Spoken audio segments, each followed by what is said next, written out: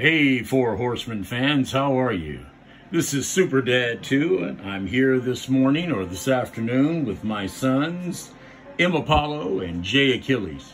We're going to be reviewing the combatants' fight for glory, all three figures that generally came in. Here they are in their packages. We're going to continue this, taking each one out of the package, taking a look at what they look like, and see how they square up with other series like Mythic Legions, as well as some of our other favorites. We'll get to it. First up, we've got Branthoc Devilfish. Yeah, all these figures I had reservations about before I uh, I purchased them. They're a little pricey. Paying the amount of money, $65 a piece, was pretty heavy. Until I had a chance to read some of the bios and what the guys were looking for.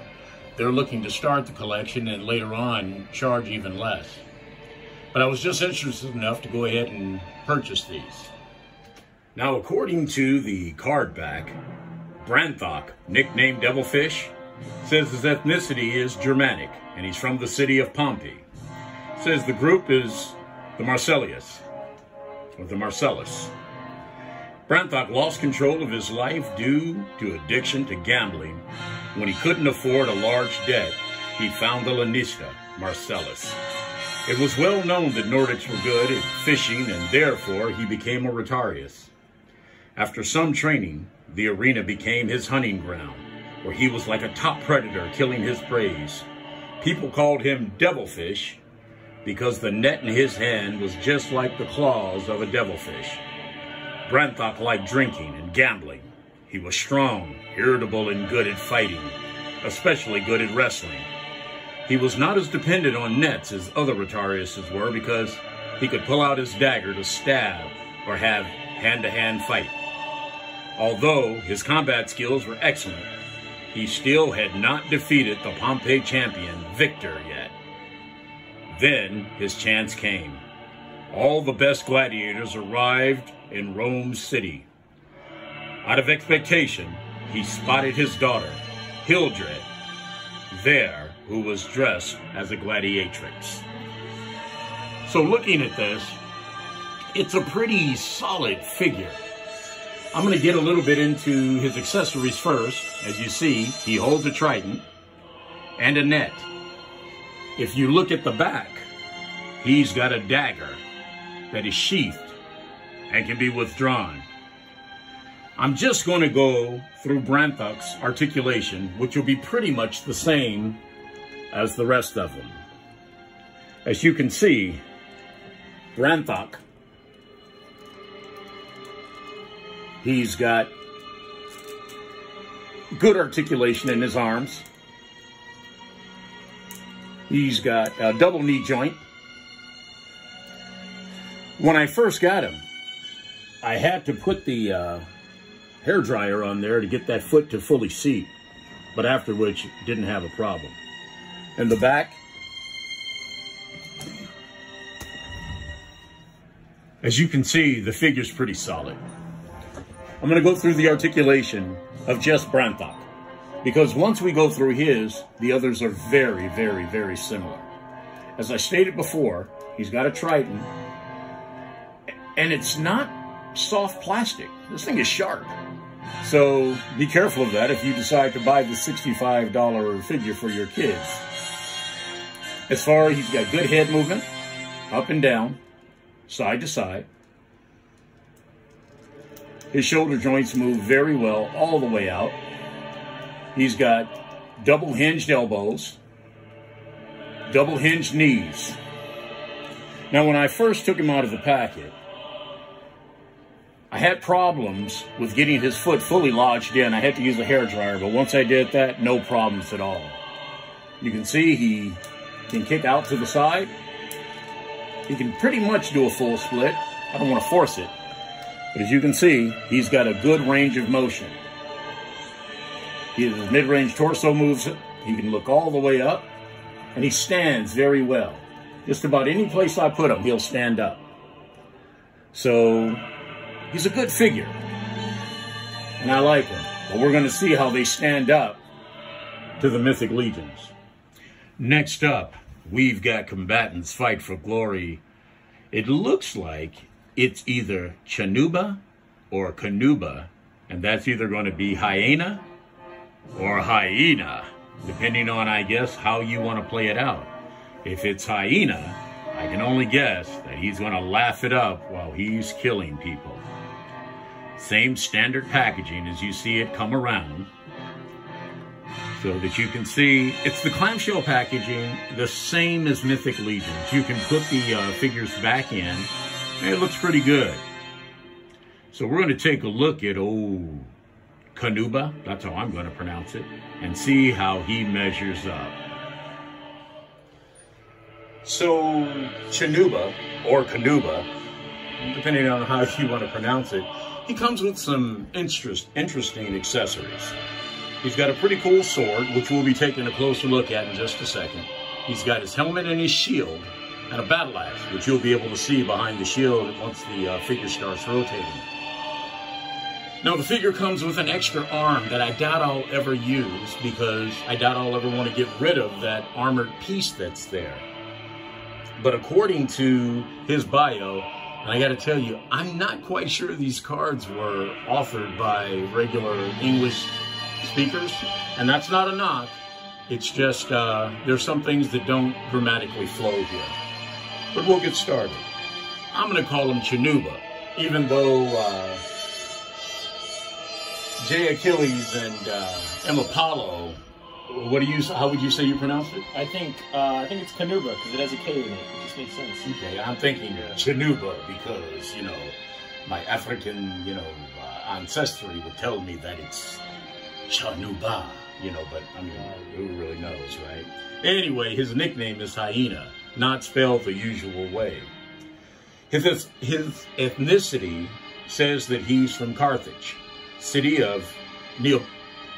Neapolis or Neapolis, and his group is the Calidius. Chanuba got a nickname Hyena because he was so agile that he could go easily around the back of his opponents and give a fatal attack.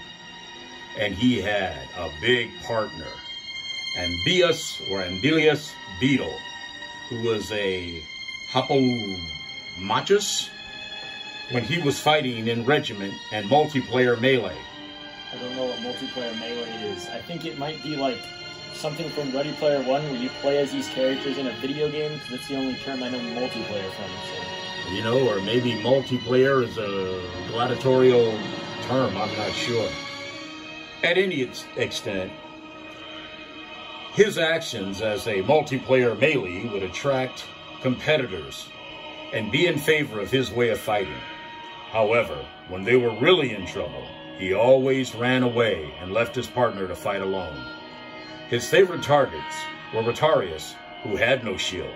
Their nets were hard to work against his fast moves. He enjoyed watching his sword stabbed into the body of his opponents and their blood falling on the ground. He often made a strange noise to distract people which disgusted his opponents, or sometimes even his teammates. People liked heroic fights, and therefore, obviously, the way that hyena fight could not be appreciated. Ah. I'm pretty sure they meant fought. People always booed him, but he didn't care. When Hyena faced Devilfish, he thought he could finish this Rotarius as easily as usual. But this time, he was wrong. So again, you can see his sword as he uh, rotates around. And uh, you get a good look at the back of him. Again, I'm not going to go over the articulation. It's very similar, all of the articulation. There's his battle axe and the back of his shield. That's pretty awesome. These, uh, these figures have a certain realistic quality that a lot of the other figures don't. A kind of... I don't know, it gives them kind of a gravitas. And we're going to see again, once we start putting them with the other figures, exactly how they look. You know, he's a very decent figure. You know, again, there he is with his uh, sword in hand and his helmet. I don't know if I like the dull sheen on his helmet or if it would have been shiny if it had been better. Now, he doesn't come with a sheath of the sword, but you can see Both the axe and the sword fit very well in his strap. And I gotta tell you, I'm digging the shield. If you look closely, you can see when the glare comes around, he's even got like battle marks in the shield. I gotta say, this is probably my favorite one. This figure, uh, like I said, I don't know if I like the dull uh, sheen on his on his helmet, but it certainly matches the trim of his shield. At any rate, this is the hyena figure. And again, what do you think of him, guys? I think it's pretty cool. You know, I'm always a bigger fan of the more down-to-earth, realistic, historically accurate um, versions of these guys. You know, I think uh, I think it's pretty cool that they're kind of more realistic, like gladiators. Um, so far, this and the last action figure have done really well in terms of articulation. Um, that's a key factor for me if ever I'm looking at a toy. Um, also, I've noticed that the facial animation, I know you can't, I'm sorry, not the animation, but I know you can't see it here because he's wearing a mask, but the facial sculpture is actually pretty good on this one. And yeah. All right, we'll take a look at the next figure. So last but not least, we've got Medicus, or as he's nicknamed, the Reaper. So you see, same standard clamshell, and you know, I can't say how much I appreciate the packaging because again, like Mythic Legions, I have taken out and put back these characters in the package. And I'm telling you, you know, I can't really tell the difference. I'm really liking this figure. He's probably my second favorite figure, and it has a lot to do with his um, accessories. So we're going to take a look at the Reaper. What do you guys think of the packaging and the display? I like the display. I think that they should show the shield a little more because it's kind of hidden behind the logo. But I think it's pretty good, pretty cool. Okay, we're going to take a closer look at him out of the package.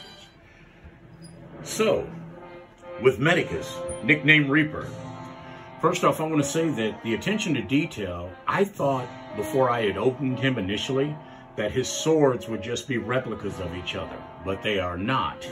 They are curved differently. Now, as uh, Apollo mentioned earlier, he's got a really nice shield, and we'll emphasize that in just a moment. But uh, his helmet and shield, they are awesome, and we'll take a closer look now. After we're done with all the reviews, I'm going to put uh, the, the figures next to each other. We're going to take a look at the washes on them. They actually have different washes, which I can appreciate. Um, they don't really show up on camera as well as they do in person. So I just want to emphasize that. If you look at them and you're wondering about the skin toning and the wash, they do have different washes. So according to the bio for the Reaper, Medicus, he's Thracian, and he's from Neapolis, and his group is Equilinus. He was a mercenary. Now keep in mind again, these cards uh, they tend to stumble. They don't they don't quite have the uh, the same way of speaking as the Mythic Legions ones do. So just kind of bear with us. Try not to chuckle too much at the mistakes. Mercenary Medicus was defeated and enslaved due to cheating the Roman soldiers. And then he was sold to a gladiator school, the House of Aquilinus. Not long after that, he became a rising star of Neapolis and the arena and brought an enormous amount of wealth to his Lanista. Nevertheless, he lost in a game against a strong opponent who was a champion in Pompeii. I, I pronounce it Pompey. People started chanting Victor when this man walked into the ground. And again, I'm sure they meant walk onto the ground. He was no match for his rival and surrendered at the very end. Although he did not die, he felt ashamed and angry.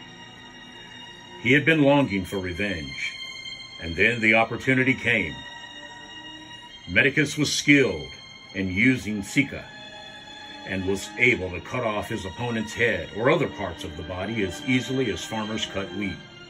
He was eager to be free again by obtaining rewards, but he hated the game And in the crowd in arena, I'm sure it meant in the arena, every time he would like to lower his head when entering the grounds and quickly terminate his opponent. After that, he would leave in a hurry without shouting or greeting.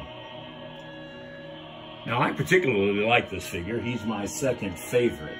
And again, as uh, M. Apollo pointed out, the shield is awesome. And like I said, we're going to do a we're going to do another rotation with him wearing his helmet and shield.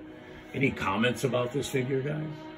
Yeah, I, I'm not a huge fan of like his shoulder kind of uh, pauldron. I think it's kind of like plain, but I think the accessories alone, including the swords, kind of make this figure really cool. Um, he looks just like Jason Momoa, which I kind of find a little funny. He looks just like Aquaman.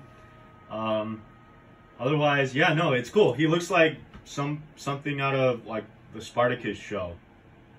And his, I mean, his swords are like, is really cool. I I've never seen an action figure with those kinds of swords on them. So. Now, I will say that though the swords are awesome, you want to be careful when you're putting them in, in his hands. The blades are a little thin, and I could feel the tension. They didn't break, they didn't bend, but I could feel how fragile they are. You know, sometimes you have to press them into the hands, and your, your, your, your thumb or another part of your hand may touch the blade. Just be careful with it. I'm certainly going to be careful with mine. Anyway, just want to take another rotation of this figure around.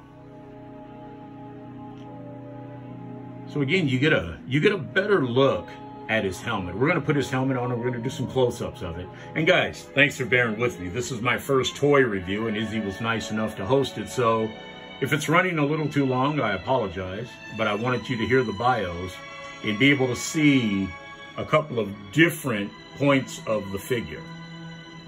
So as he rotates around and comes back again, you can see they, the sculptors, whoever they were, if you look at his leggings, the amount of detail that just goes into those.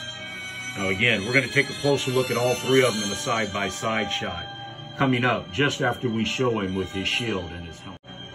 So here's the Reaper in his armor. And again, I got to tell you, you know, just looking at him in his armor, I think that he may give, uh, I think he may give the hyena run for his money. You look at the ornate sculpts again, on his uh, leggings, even his pauldron. I know that uh, M. Apollo said he didn't like them. I kind of like the way they go with his armor a little bit better. And again, I'm going to point out how well all these figures stand. And as you see again, his knife easily, or his other sword, easily fits into the strap along his back. I just want to point out again how well all these figures stand. Normally, when we rotate figures around on this wheel, they fall over. But this guy and the others, they stand pretty firm. Let's take a look at all three of them together. So, here we have it. All three of the figures together. They're pretty dynamic. They're pretty impressive. The uh, articulation, the sculpture, the accessories, all of them look pretty good. Is it worth the money? I'd have to say yes, at least for this first set. Like I said, there's a hyper realism realism to them that uh, you don't get in a lot of figures. And as you're going to see here in just a moment, they're going to re they really stack up well to Mythic Legions. But before we do that, I want to get to some of the close-up of some of the detail. By the way, while the guys here said that they thought that he looked like Jason Momoa, first person I thought of was Jimmy Smits. And for those older collectors, you'll know what I mean. But anyway, I want to take a look at some very specific detail on these figures. So I want to talk a little bit about the, the detailing here.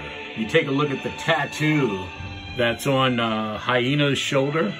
I'm going to bring it up just a little bit closer because there's a bit of a glare that's on it. That's a pretty nice tattoo. And that's a tattoo of a hyena. So that solves that. He is hyena. So if we come back and we take a look at the Reaper, again, that's a nice tattoo. It's just the kind of detail that we're looking at that makes it really nice. You look at the sculpt on the leggings there. That's really kick-ass. You put that along with the articulation and the idea that these figures just, they stand really well. And I'm going to say that and they're going to fall over, I'm sure. But if you take a look at that sculpting that takes, takes place, that's some really nice work there. It just gives it, what's the term? Verisimilitude? It really just makes it so realistic. That's some nice work right there. And again, on his leggings or glaives, I'm not sure if that's what those are called, but that's really, really, really good for the shin armor, as uh, J. Achilles just let me know. I like that you can take these figures and just stand them up, and they pretty much stay standing. You don't get that a lot in, in a lot of the figures that uh, that come out today. But very, very, very nice figures. All right, so here we have uh, it with a couple of the Mythic Legion figures. As you can see, it stacks up pretty well. I mean, the whole uh, size comparison, I have to believe that these guys probably put these things together with the thought of these things matching up with myth Mythic Legions in mind. I mean, they just look really, really, really good. I will say this, it's either an advantage or a disadvantage that the um, that these figures, and I'm talking about the um, the new figures here, they're kind of grounded, which in a way, Mythic Legions kind of transcends. It, it really is a, it goes with more fantastic figures, but it also has that realistic look to it. So let's take a look at a couple more, and then we'll do some side, uh, side-by-side comparisons. So now we're taking a look at the Reaper and the Reaper going with this mythic figure, it's probably the closest when we look at the way the armor is set up. But again, the sculpts are very compatible. This is probably my favorite setup. I mean, it just looks majestic. It really looks good. So here, if we take a look at the Reaper, and I believe, though I'm not sure if that's the Claudius figure, the way it plays out is just great. I love the shield. I love the armor. Um, the articulation is a little bit different, but the compatibility is not to be questioned. All right, we'll take a look at another setup. And so there's no question that these figures, they go very well with the Mythic Legion figures. I mean, scale-wise, action-wise, but they're going to have to come down in price before I pick up another uh, set. I, I got them, like I said, and listening to what they had to say about how they intend to uh, bring the prices down later is promising. I really enjoyed the figures, but I don't think I'm going to be willing to shell out that kind of money for it uh, in the future. Side by shot, side by side shot and comparisons here. If you look closely, you'll see that the combatants, at least this one, is just a smudge taller than the uh, Mythic Legions, which is great because in a set, in actuality, they wouldn't all be the same size. But they totally have compatibility with Mythic Legions. And as you can see, the figures almost match as if they could be from different Lanistas, you know, set to battle each other. Similar type armor, yet different at the same time. I want to take a moment here to say that one of the things that I least like, and I know this is sacrilege for me to say about the Mythic Legion figures, I don't like the swappable parts. I don't like it because sometimes when I'm handling them or moving them, the midsection comes off. You know, I like to leave my figures as they are, but I know that is not the popular uh, thought. So I'm just saying that while I love how ornate the Mythic Legions are, and I love these other figures, um, I do like that the articulation in these uh, uh, Fight for Glory, they're pretty nice. They don't come apart, though they and they have great articulation. So I do like that about them. But outside of that, I am really, really, really digging these figures. And finally, looking at the two lines, our Mythic Legions and our combatants fight for glory, they are compatible. It's just that one is a little more realistic than the other, which is not to say anything bad about either lines. You know, Mythic Legions, it really bridges that boundary between uh, realistic and the fantastic as we get into Mythic Legions. But the combatants fight for glory, um, it's kind of like, you know, somebody's really trying to take the characters from history and bring them out, you know. So, but there's no question that they're compatible. Any last words, guys? Yeah, um, I'm pretty sure I'm a bigger fan so far of the FFG guys, simply because I'm kind of more, I, I like the kind of more realistic take on the characters. Um, the Mythic Legions guys, while they look cool, look like they're kind of more out of something like a comic book with the more um, extravagant armor pieces and vibrant colors that they have on them. Whereas uh, the Fight for Glory guys look like they're, well, they're still extravagant in their armor pieces. They have more matted colors, which in my opinion makes them look more realistic. Yeah, so basically, basically the same thing along the lines of what uh, Mike just said. The Mythic Legions definitely have this certain texture or like detail to them that almost no other toy that I've seen has. The uh, combatants, though, they when it when it comes to like moving them, when it comes to moving their joints, moving them around, I feel like they're gonna hold together better. Why? Because they don't have all these like extra clothing accessories, stuff that might fall off, stuff that might cause them to fall off. Some have the interchangeable parts like arms and stuff, but otherwise, when I'm bending them at the knees or at the waist, it's uh, it feels better to me. So you know, the combatants, honestly, I like them overall. Yeah. You know, I'd have to agree. One of the things I like least about Mythic Legions are the uh, interchangeable parts. So with the parts uh, being that way, they sometimes they come apart in my hands, or you know, the hands will come out the sockets too easily, or whatever, when I'm trying to get them to hold the weapons. But I have to say, until uh, Fight for Glory, the combatants comes out with other characters and different scales, I'm probably going to be sticking with the Mythic Legions. And then there's that price point. Again, I don't know if I'd be willing to pay that amount of money as much as I like the figures for additional figures. They're going to have to come down quite a bit. Um, and that's what makes Mythic Legions a more desirable line over the uh, the FFG guys. All right, that'll that'll pretty much finish it up. Uh, again, this is our first videos sorry for this video. Sorry if uh, it ran too long or we didn't cover things you guys would like to see. But we had fun doing it. And I'm really digging both lines. So hopefully they'll come down in price and I'll be able to get more of these FFG guys. But I'm going to continue to get my Mythic Legions. All right, guys. Thanks so much. All right. Take care. See you. Bye, guys.